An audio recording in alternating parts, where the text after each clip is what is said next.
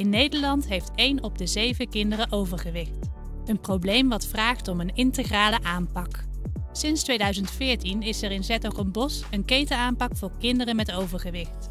Kind naar gezonder gewicht. Wij hebben onderzoek gedaan naar deze aanpak. In dit onderzoek is gekeken of het de jeugdverpleegkundige lukt om de rol van centrale zorgverlener uit te voeren en naar de effectiviteit hiervan.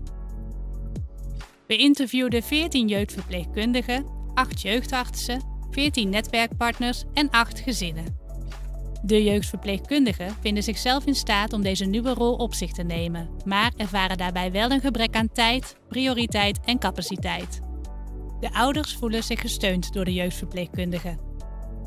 De effectiviteit van de aanpak werd onderzocht met een vragenlijst over kwaliteit van leven. Deze is drie maal afgenomen. Eén bij de start, na drie maanden en na een jaar. De vragenlijsten werden ingevuld door de ouders van 4 tot 12-jarige kinderen met overgewicht in Zettergebos en door een controlegroep. Ook vergeleken we de BMI van de kinderen.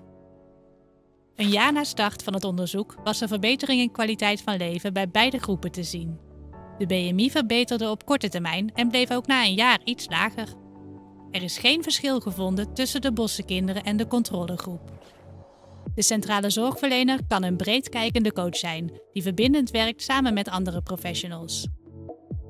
Goede implementatie van deze rol heeft aandacht en tijd nodig.